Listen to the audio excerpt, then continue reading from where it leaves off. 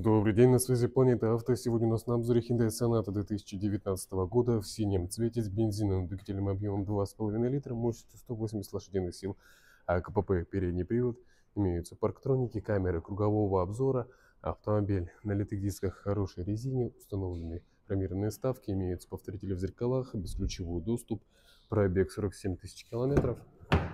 По салону кожаный салон, чисто ухоженный, имеется панорамная крыша с люком, автохолд, драйв мод, двухзонный климат-контроль, мультимедиа, подогрев и вентиляция передних сидений, подогрев задних сидений, обогрев заднего стекла, кнопка старт-стоп, мультируль, круиз-контроль, подрулевые лепестки, корректор фар, контроль полосы, система курсовой устойчивости, электропривод передних сидений, водительское сиденье с памятью на две персоны – электрорегулировка зеркал, 4 стеклоподъемника.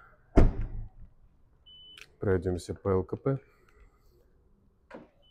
88, вот 94, 95, 91, 91, 96, 96, 102, 92,